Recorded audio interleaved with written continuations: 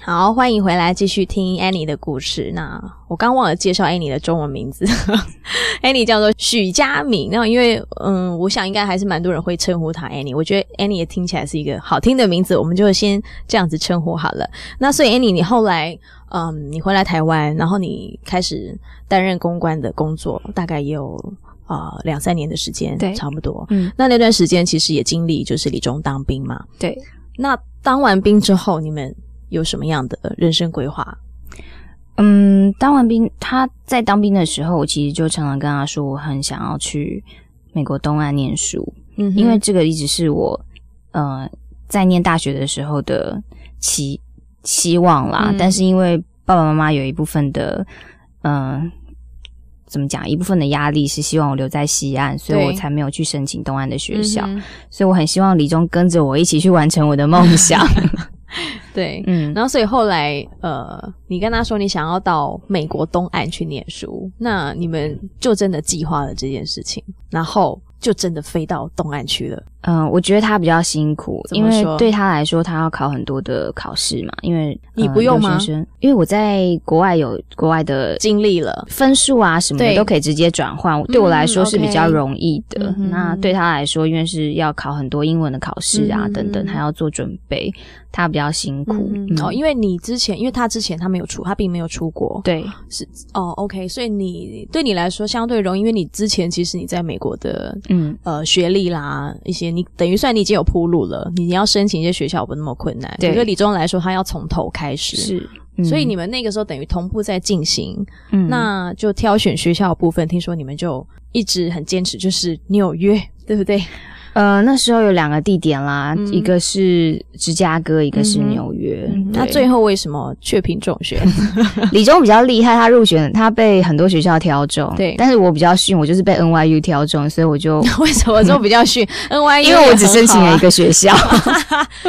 纽约大学，对，嗯哼哼因为我想说，如果他申请到的是芝加哥或是南加大的话，嗯那我就先过去，然后再再申请。那我想要先把我的第一志愿先申请到再说。嗯哼哼那刚好他也被哥伦比亚大学入，就是入入录取录取了，嗯哼哼对，哦那也很刚好都就都在同样的一个区块。真的，不然，其实你你们要想要是你们刚好到美国，就一个又被西岸的录取，对啊，或是一个被东岸录取，你们嗯其实还是要继续远距离，而且美国很大，对，所以后来你们两个就很很幸运，都落脚在同一个地方。嗯那你那个时候你念呃纽约大学，然后李仲是在哥伦比亚大学。哥伦比亚对。对，你们后来在美国总共待的时间有多久？你们两个一起出去的时间？嗯、我们两个人在美国大概待了六年的时间。嗯那后来他先回台湾工作，嗯哼那我继续还待在那边一阵子。嗯嗯，所以其实你你们两个算是完全的爱情长跑，也可以这样子讲。嗯，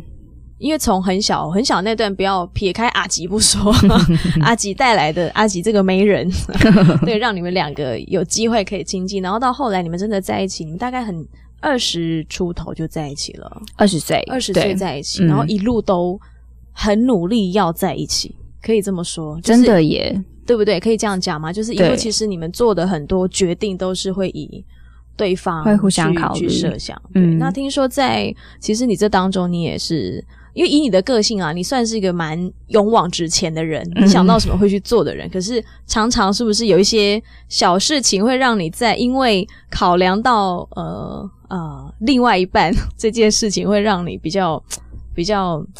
退缩也不能说退缩，会让你稍微考虑比较多。对，会因为嗯、年轻的时年轻一点的时候，就大概大学的时候，嗯会觉得什么事情都可以勇往直前，没什么难没什么得了的，挡得了你对，这样。但是后来，嗯、跟李忠一起到美国、到纽约的时候，我就觉得，就正式的感觉人生进入了第二个阶段，就是一个同居的生活，然后，嗯。正视对方的身份，嗯然后彼彼此尊重的时候，嗯就是当我在做一些决定的时候，我发现不是只有考虑我自己想要冲就冲，对我还要考虑两个人的生活，嗯对，嗯所以那时候，其实我一直到大学，一直到念研究所的时候，都很想要争取，就是嗯媒体啊、记者方面的工作。你还是有战地记者的梦 想。我一直有，我一直有。然后那时候，其实我们学校有一个 program 是到呃东欧，嗯哼，对，去做其实是义工啦。可是你会，你可以在那边发挥一些你的所学，嗯比如说念护理的，就是在那边做一些社区服务的工作。那因为我们是念大传的，所以可以写一些文章什么之类的。嗯那我那时候超想要去的，嗯因为我对那样子的生活非常非常的向往。嗯对，然后又觉得机会很难得，然后名额都已经 open 了。对，可是我就每天要或不要？对我每天在家里，然后我都不敢跟李忠商量，因为我觉得我跟他讲，他大概会觉得。我不知道他会怎么想我啦，可能会觉得我很自私，怎么可以把他抛下，或者是觉得 我不知道，我就是当然是往坏处的方向想，对对，因为其实一分开就是半年多的时间，嗯嗯对啊，所以后来真的是几经思考之后，我实在放不下我们家的李忠，还有我们家的狗狗，所以我就为什么还是继续待生活旁边总有一只狗在干扰他？所以我说我那时候觉得人生到了另外一个境界，因为我们俩共同养了一只狗，嗯，然后觉得更像一个家了，真的完全是家了，就是再也不能那么潇洒了，对对，就没办法说想走想离开你的脚步，又一跨就出去了，没。办法，嗯真的嗯变得很不一样。那你觉得对？其实我觉得借由你们的关系来探讨一下两性也挺好玩的。那嗯对李忠来说，他也会是这样这么做的一个人吗？就是会像你一样，比如说去考量到你们两个之间的关系，然后所以他因此会影响他的决定吗？我觉得这都是慢慢学习的。嗯一开始的时候，他不会，我也不会，嗯然后就因此常常有一些纷争。，对，因为嗯，对他来说，一个艺术家个性的人，他有他的理想，跟他想要追求的的那一种生活。空间啊，对，然然后这个可能是两个人很密切的住在一个小小 studio 纽约的对空间是没有办法达到的。对，那我也是一个自由自在型的人，嗯哼然后我只要有空，我就想买张机票，我就想要走了。嗯哼，所以这在一开始的同居生活的前半段，造成了非常非常多的摩擦。嗯哼，可是，一度也有谈到很多很严肃的话题，比如说，那就各自活一阵子，然后 活完之后再觉得 看怎么样再要不要说吧，对这样。对嗯。但是经历过很多这样子的纷争磨合之后，我觉得，嗯，大概第三年、第四年的时候，我们已经很为对方想了。嗯哼，对，那但是我觉得有一个转折点是，当你愿意为我想的时候，我其实更愿意为你想。对。对，当你告诉我说我是我其实都有考量到我们两个，我没有去那个地方，是因为我觉得你一个人在这边我不放心的时候，我反而会很下心，吞一口气，想说，那你去吧，我会在这里好好的。你，对也，反而有时候对啊你反而觉得对方不就是用这种方式。因因为你然后停止他的脚步，你反而会希望他可以自由的去飞，我觉得他应该要发挥一些他应该要发挥的，不要被我局限在这边。嗯所以这这都是一个慢慢慢慢慢慢互相进步的过，程。对对，哇，好浪漫。有吗？也是之前也是吵得很火热的。没有，我觉得真正的感情好就是吵也很会吵，那好也很好，这样子。对，嗯所以你后来你就真的考量你们两个不要远距，所以你又决定因为家累的关系，所以嗯，好吧，还是打消那个要出远门的念头。